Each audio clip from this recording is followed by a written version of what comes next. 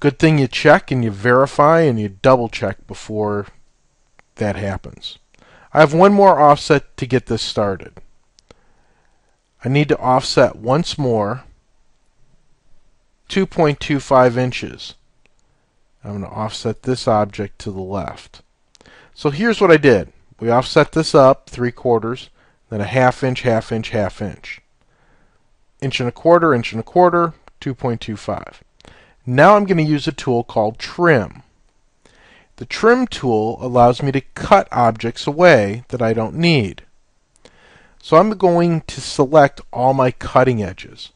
So for example, if I pick this vertical line, this vertical line will help me cut this object because this is now the point at which the knife or the, or the cutting tool is going to be cut and I can cut this short side or the long side.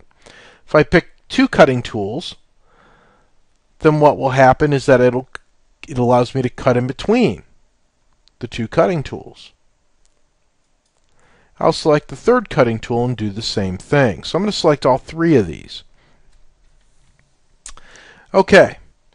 I'm just going to do the vertical lines. We'll do the horizontal lines next. Could I select everything at once? You bet. Is it more efficient? Yes. Right mouse click, because when you're done selecting the cutting edges, you now want to select the objects to trim. So I need to trim this and this back. I need to trim this back. I need to trim this back. And I need to trim this back and this back.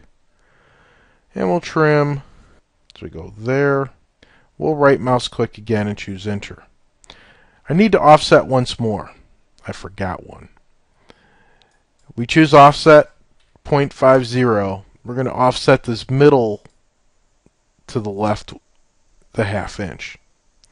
Now let me go ahead and trim. And this time I'm going to select all the horizontal lines and I'm just individually picking them. But what happens if I miss? If I miss, I get a green box or a blue box. The green box indicates that anything that touches the green box gets selected.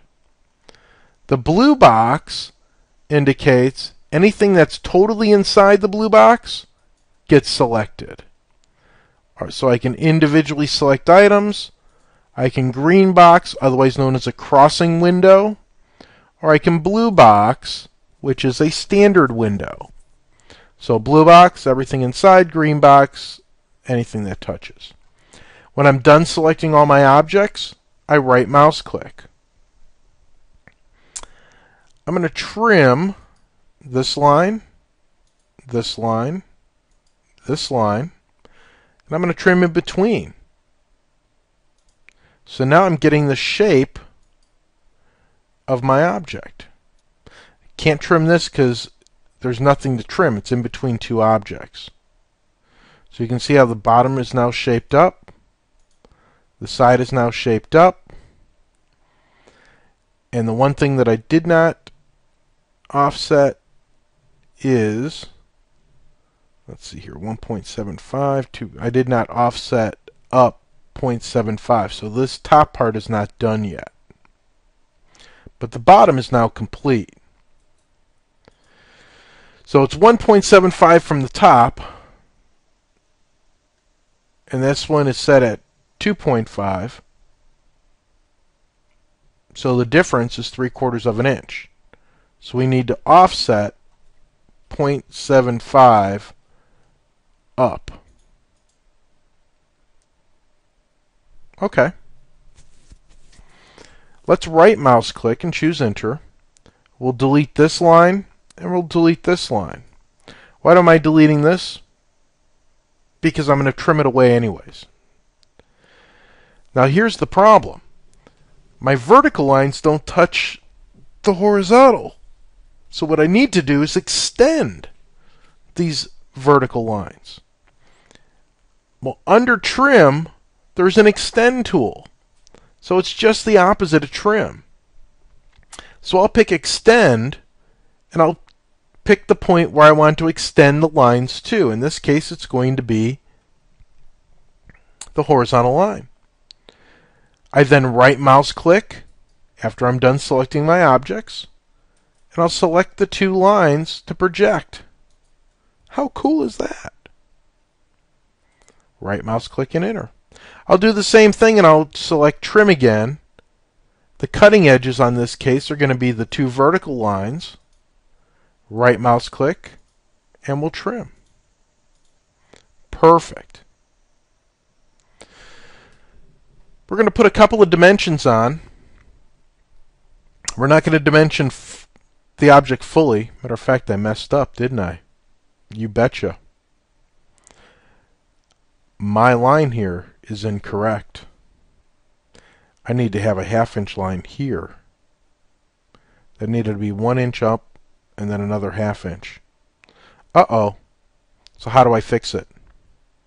Oh, this never happens to a student's drawing, ever. So I need to offset once more. Distance is 0.50. Offset up. I need to erase this line and erase this line. I need to trim. There's my two cutting edges. This line. And I'm going to show you an extra bonus trick.